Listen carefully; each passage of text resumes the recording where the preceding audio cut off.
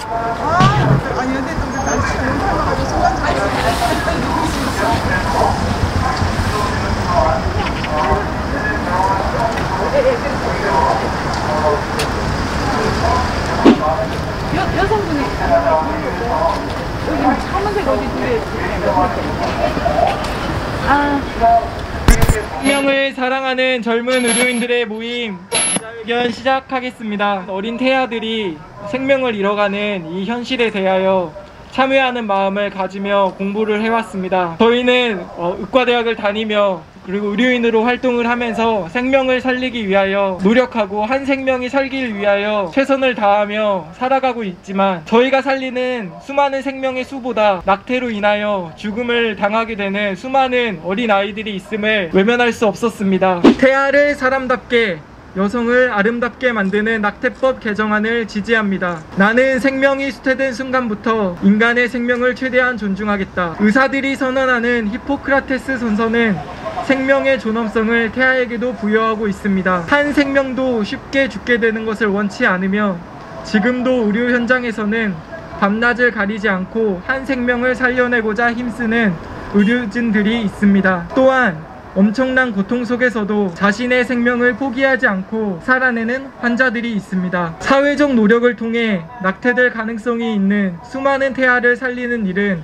무수히 많은 인생을 살리는 일이며 의료진들과 오늘도 살고자 힘쓰는 환자들의 땀과 수고를 더욱 빛나게 하는 일입니다. 생명을 사랑하는 젊은 의료인들의 모임은 모든 낙태를 반대합니다. 하지만 2019년 4월 헌법재판소는 여성의 자기 결정권을 존중하는 범위에서 일부 낙태죄를 개정할 것을 권고하였습니다. 이에 따라 올해 연말까지 낙태법이 입법되어야 하며 여성과 태아를 모두 살리는 낙태법 개정안과 자유로운 낙태 허용안 개정안이 충돌되고 있습니다. 생명을 사랑하는 젊은 의료인들의 모임은 여성과 태아를 모두 살리는 낙태법 개정안을 지지하며 다음을 요구합니다. 첫째, 국가는 태내 아기의 생명을 존중하고 생명을 살리는 법안을 입법하라. 둘째, 양육이 어려운 부모들을 위하여 낙태의 대안이 될 수 있는 입양, 국가 양육이 가능한 사회 시스템을 만들어라. 셋째, 태아 심박동이 확인되는 임신 6주 이후는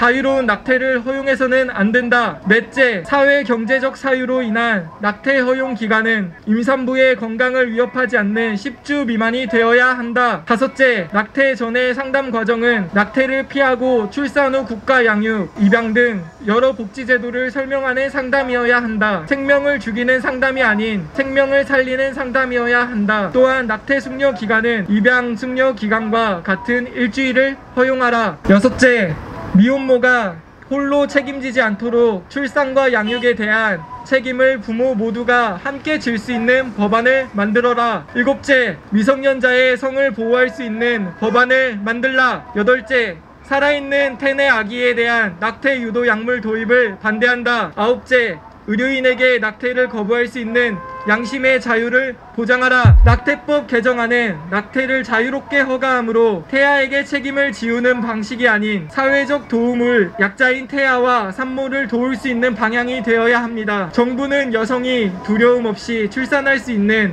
분만 친화 환경을 만들고 국가가 육아, 양육을 책임지는 정책을 강화해야 합니다. 생명 존중이 사회의 바탕이 되기를 바라며 이번 낙태법 개정안이 태아의 생명과 여성의 인권을 모두 존중할 수 있는 방향이 되기를 바랍니다. 생명을 사랑하는 젊은 의료인들의 모임은 여성과 태아를 모두 살리는 낙태법 개정안을 지지합니다. 2020년 11월 21일 생명을 사랑하는 젊은 의료인들의 모임